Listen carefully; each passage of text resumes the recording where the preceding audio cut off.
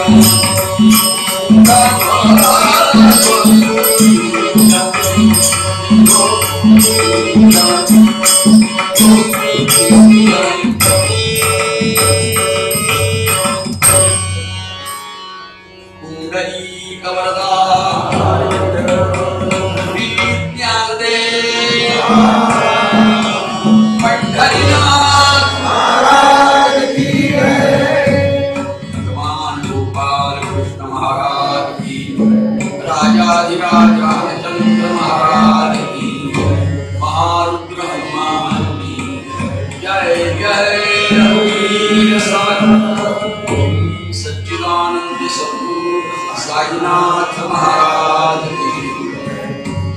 सच्चिदानंद सद्गुरु ब्रह्म चैतन्य महाराज की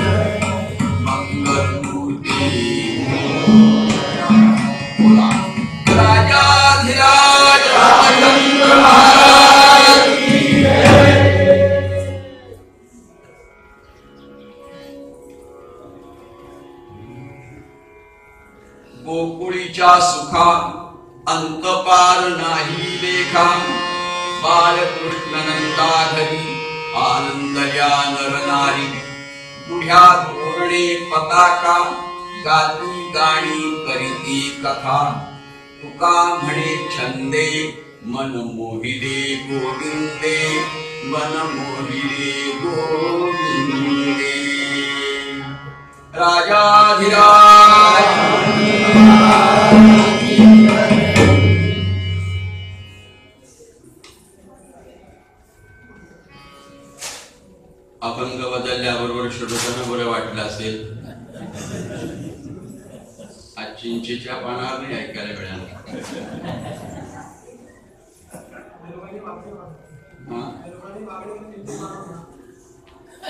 वेळ नाही प्लीज रागवू नका. वेळ नाही आपल्याला बाकी काही कारण प्रत्येक गोष्टीचे इथे वेळच्या वेळेला चालते नियमाप्रमाणे चालते.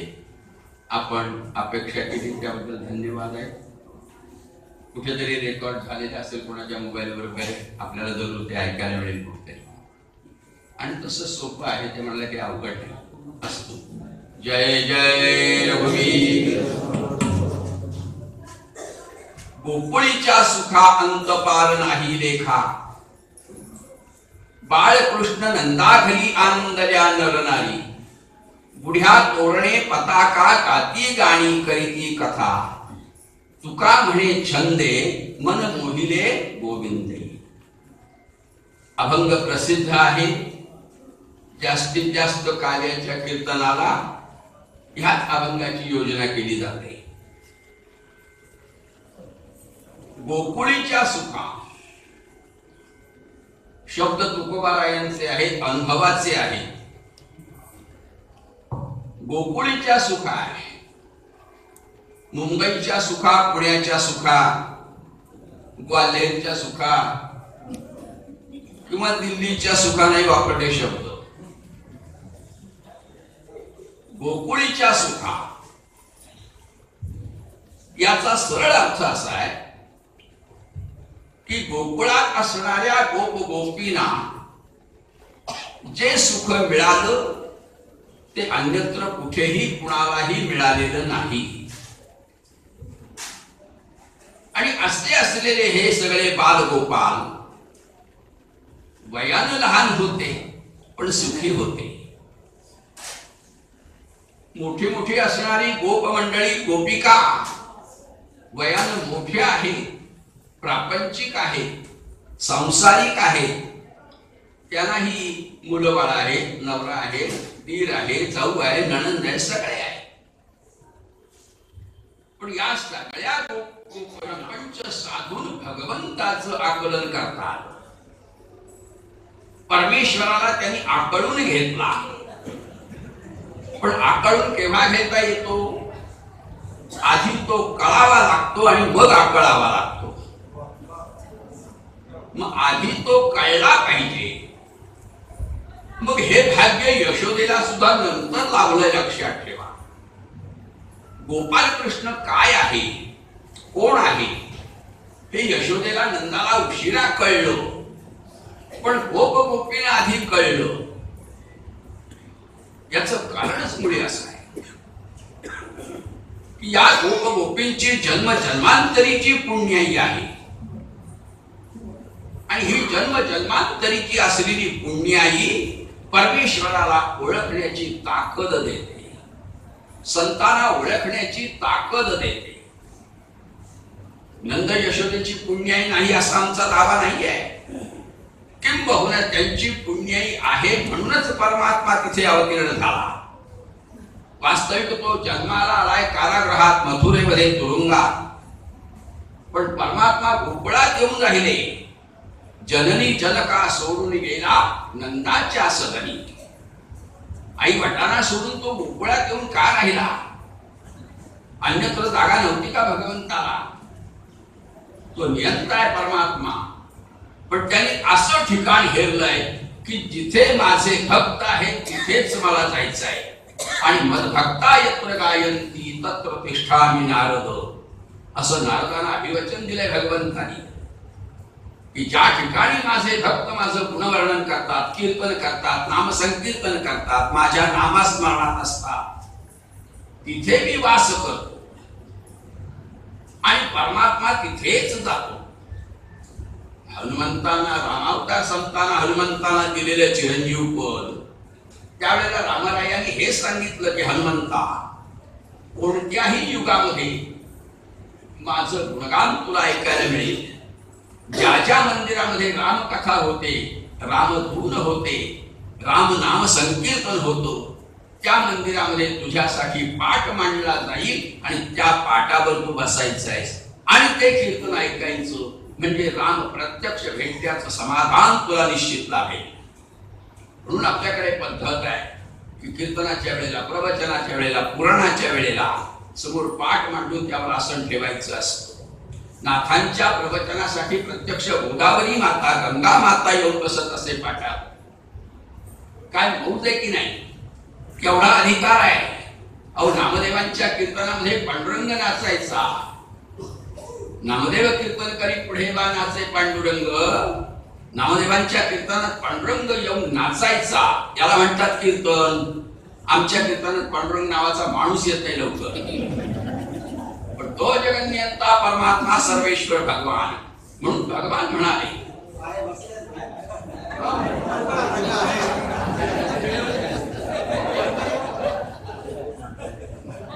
म्हणजे माझ्या कीर्तनाला थोडा तरी अर्थ आहे जय जय, रघुवीर. तेव्हा मुद्दा असा की असं असलेलं सुख सुख सुख सुख काय सुखाची व्याख्या आहे? कशाला सुख म्हणतात घरामध्ये सगळं फर्निचर असलं म्हणजे सुख असतं. एसी असला म्हणजे सुख असत. सोन्या चांदीची भांडी असली म्हणजे सुख असतं. करोडोची संपत्ती आहे म्हणून सुख असतं. आणि जे वाटतं ते क्षणिक आहे तात्पुरत आहे नाशिवंत आहे. किंबहुना ज्यामुळे चिंता निर्माण होते ज्यामुळे भय निर्माण होतो ज्यामुळे क्लेश निर्माण होतात नसती जबाबदारी वाढते. आणि त्याहीपेक्षा चोरांची भय आणि जीवाला भय. ज्याला आपण सुख म्हणतो ते सुख नाही त्याच्यामागे दुःख लपलेलं असतं. आणि म्हणूनच गोप गोपी. आर्थिक दृष्ट्या जरी श्रीमंत नाही दही दूध विकून ही जगणारी मंडळी आहे. पण यांच्या रोम रोमात कृष्ण भिनलेला आहे. नसा नसात कृष्ण भिनलेला आहे. रक्ताच्या थेंबा थेंबात परमात्मा भिनलेला आहे. त्यामुळे अंतर्बाह्य त्यांचं जीवन कृष्णमय झालेलं असतं. आणि तिथे कृष्णमय जीवन झालेलं असतं त्याला म्हणतात निरदेशीय सुख किंवा शाश्वत सुख. ते अंतर्बाह्य परमात्माच दिसतो. आमच्या सुखाच्या व्याख्या वेगळ्या कारण हे जगत असं सुख दुःख मिश्रित आहे. या जगामध्ये सुख आणि दुःख याचं प्रमाण आहे. पण हे प्रमाण लक्षात आलं पाहिजे. म्हणजे आपल्या वाट्याला किती येतो? आपल्या वाट्याला सुख किती येतो? राजा भर्तृहरीने श्लोक लिहिला. ते म्हणाले यद्धात्रा निजभाल पट्टलिखितम स्तोकम महत्वाधनम विधात्यानं आमच्या ललाटी जे लिहून ठेवलंय ना तेच आम्हाला मिळायचंय तेच. तेच आम्हाला मिळायचं आहे जास्त मिळणार नाही कमी मिळणार नाही. विधात्यानं ललाटी लिहिले ते मिळणारच. प्रयत्न थोडासा करावा लागेल इतकंच पण मिळणार ते. मिळालं नाही म्हणून दुःख मानायचं कारण नाही आणि खूप मिळालं म्हणून जास्त आनंदमय होण्याचं कारण नाही. जे मिळतं ते सुख क्षणिक आहे. आणि म्हणून माझा प्रारंभावर पूर्ण विश्वास आहे की आम्ही ज्याला सुख म्हणतो ते सुख असतं का?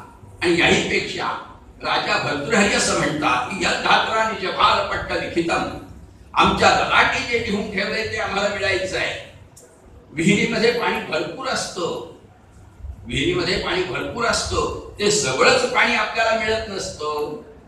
मागे केव्हा तरी बोललोय हा विषय आपण आठवत असला तर पहा. की विहिरीत पाणी भरपूर आहे पण सगळं आपल्याला मिळत नाही पाणी ते. तुम्ही जेवढं पात्र विहिरीत सोडाल तेवढंच पात्र भरून पाणी मिळणार आहे. तुम्ही बादली सोडली बादलीवर पाणी. हंडा सोडला हंडावर पाणी. तांब्या सोडला तांब्यावर पाणी. पात्र किती लहान मोठं आहे त्याच्यावर ते पाणी अवलंबून आहे. तेव्हा तुमच्या प्रारब्धाचं नशिबाचं पात्र किती लहान मोठं आहे त्याच्यावर ते सुख दुःख अवलंबून आहे. मग या जगामध्ये सुख किती दुःख किती? तुकोबाराने एका अभंगात वर्णन केलंय. ते असं म्हणतात सुख पाहता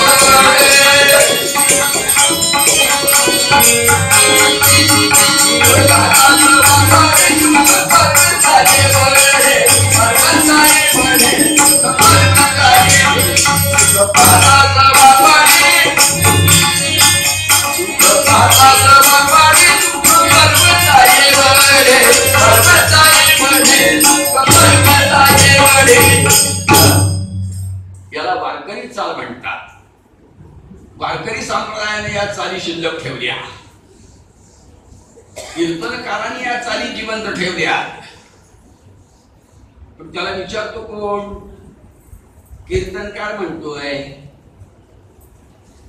पण ह्या सगळ्या चाली हे सगळे मोठे मोठे संगीत दिग्दर्शक आहेत की नाही हे चोरतात त्याला फक्त पॉलिश करतात पण त्याच्यावर करोडो रुपये मिळवतात अनुभवाचं बोलतो एक हिंदी पिक्चरमध्ये म्हणजे हिंदी सिनेमाचे संगीत दिग्दर्शक शंकर आणि जयकिसन होते. त्यातले जयकिसन जे होते त्यांच्याकडे माझं कीर्तन होतं मुंबईला. घरात कीर्तन. त्यांची जवळजवळ सत्तर वर्षाची आई हिंदी बोलायची घरात ते. गणपती उत्सवात ते कीर्तन. किती वेळ? ते म्हणाले फक्त एक तास कीर्तन करायचे. ते पण आमच्या आईला ऐकायचं म्हणून. त्याला ऐकायचं होतं का मला माहीत नाही. ते म्हणाले आईला ऐकायचं आहे म्हणून एक तास कीर्तन करा. बिजागी काय असते ती घ्या. पण त्यावेळेला जयकिसन आजारी होते. मी आपल्या पेटीवाल्याचा बाजी घेऊन तिथे पोहोचलो. किती सांगता बारा बाय बाराची खोली जसं बेडरूम असतो. त्याच्यात मला उभं केलं पेटी खाली तबला खाली मी खांबासारखा वरती उभा. आई त्यांची समोर बसली. काय घरातले दोन तीन बायका माणसं एक दोन पुरुष ते कोण कोणाचे होते काही कळलं नाही. पण त्यांच्या किसन पलीकडच्या खोलीमध्ये आजारी. त्यांच्या सेवेला एक नर्स ठेवलेली होती. कीर्तन त्यांना आत ऐकून जात होतो. त्यांची आई म्हणाली बुवा मला मीराबाई चरित्र ऐकायचं म्हटलं कृष्ण भक्त होत्या त्या. म्हटलं ठीक आहे मीराबाई जाऊ पण एका तासात सगळं वाचवायचं आहे. गोंधळ होतो ना. पण माझ्या प्रयत्नानं बरोबर एक तासात ते कीर्तन आवडलं मी म्हटलं आजी मला साहेबांना भेटता येईल का? दोन मिनटं भेटायचं आहे. त्या म्हणाल्या त्यांना बरं नाही आहे पण विचारून बघ ते पाठवू का म्हणून. म्हणजे मुलाची सुद्धा परवानगी काढावी लागते आईला येऊ देत का बुवाना म्हणून. काय श्रीमंतीचा थाट असतो. त्या बघ मला बोलवलंय पाच मिनिटं. अंतरुणावर पडलेले नर्स पायाशी बसलेली. म्हटलं साहेब नमस्कार. वगैरे सगळं झालं. ते म्हणाले बुवाजी तुमचं कीर्तन ऐकलंय. मी फार आनंद झाला. आम्ही टेप करून घेतलाय. आईला पुन्हा कधी ऐकायचंय तर. म्हटलं ठीक आहे. पण साहेब मी तुम्हाला एवढंच विचारतो. मलाही वेळ नाही थांबायला. तुम्ही एवढ्या त्या सिनेमाला चाली देता ह्या कुठलं काय आकाशातनं पाडता का हो? त्या चाली तुम्हाला सुचतात कशा? कशा मिळतात चाली तुम्हाला? आम्ही जन्मभर कीर्तन करतो तरी आम्हाला लवकर चाल सापडत नाही. तुम्हाला या चाली सुचतात कशा? त्यांनी प्रामाणिकपणे उत्तर दिलं. ते म्हणजे खरं सांगू काय यात काही अवघड नाहीये. आम्ही रस्त्याने जाताना आमचा टेप रेकॉर्डर चालू ठेवतो. एखादा भिकारी जरी गाणं म्हणत असला भिकारी तरी आम्ही ते रेकॉर्ड करतो. त्याला काय पाच हजार रुपये देतो. म्हणजे दान धर्म केल्याचं एक पुण्य आपल्याला मिळतो. पण त्याचंही गाणं रेकॉर्ड करतो. कुणी काही गुणगुणत असलं रेकॉर्ड करतो. कुणी भजन म्हणत असलं मंदिरात रेकॉर्ड करतो.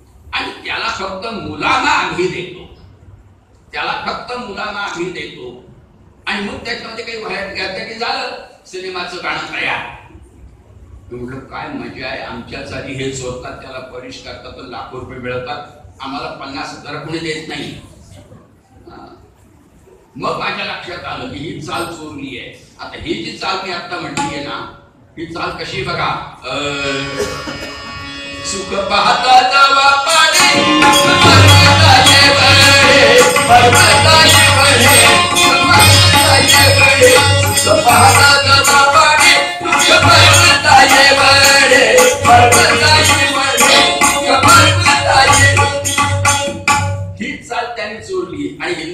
लावलं माझ्या नाही हे पण एक पण म्हणून जातो.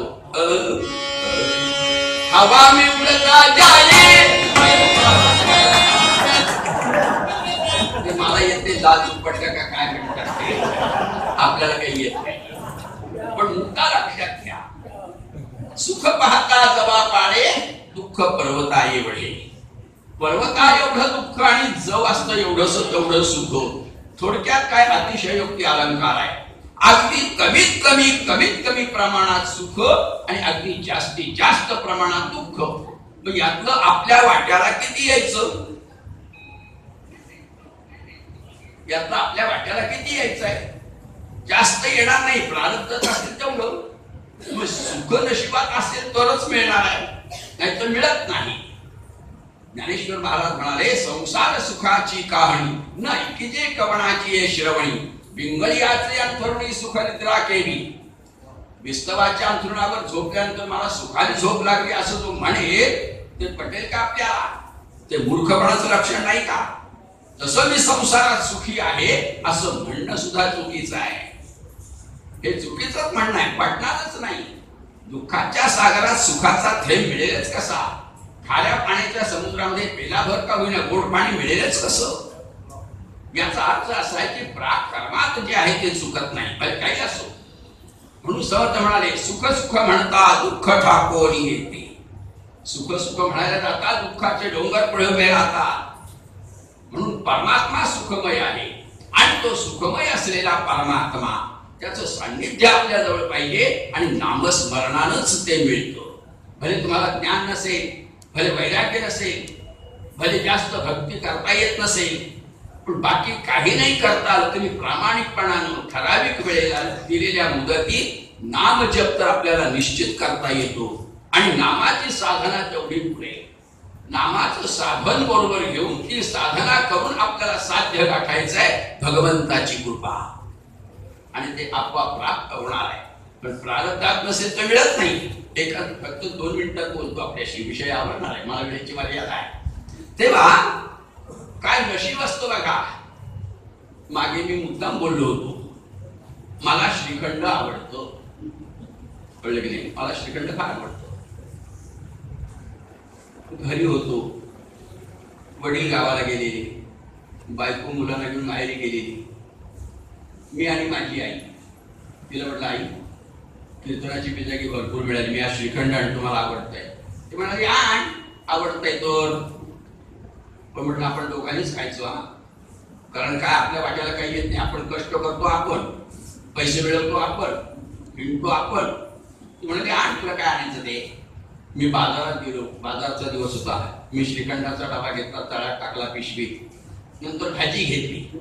भाजी घेऊन का भाजी घेऊन घराकडे निघालो. तो मित्र भेटला. काय आणा बऱ्याच दिवसांनी? खबर बाहेर गावी होतो रे. हा काय आणलंय? काय म्हणलं काही भाजी आहे. श्रीखंड बोललोच नाही मी त्याला. वाटेकरी व्हायचा? म्हटलं भाजी आणली. बघू काय काय भाजी आणली. त्या तळात त्याला श्रीखंडाचा लागत वा अण्णा श्रीखंड वाटत. आज येणार तुझ्या घरी मी. म्हणजे तो माझ्या मुलावरच होता. म्हटलं ठीक आहे. घरी राहायला म्हटलं एक काम कर. तो आलाय जेवायला ते येऊ दे. बाकी त्याला भरपूर वाटतो. श्रीखंड जरा दोनच चमचे वाट. बाकीचा आपल्याला होईल. त्याला दोन तीन चमचे वाढले. मी नंतर जेवणार आहे का?